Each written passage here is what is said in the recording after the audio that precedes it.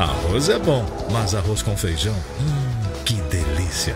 Sempre é bom unir dois grandes sucessos. Em setembro, Ana Hickman e Brito Júnior juntos no comando do Programa da Tarde.